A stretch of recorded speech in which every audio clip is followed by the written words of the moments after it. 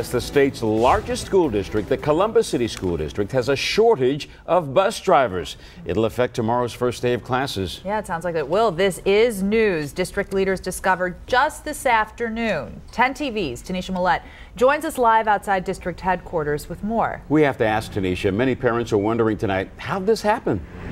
Jerry, the district says it apologizes, but the district says it was counting on getting temporary bus drivers to cover several routes while permanent drivers it hires continued getting its training and getting their commercial driver's license. But they said they found out late today they would not get those temporary drivers. That means for tomorrow and likely for the remain for the first few weeks of this new school year, there will be some delays in service. The district says it will cover all routes. Morning pickup, it says, is expected to be less of a problem, but the district says parents will likely see it more during dismissal. We are picking up elementary and middle school students as scheduled. That will mean that the buses have to come back later and get the high school students.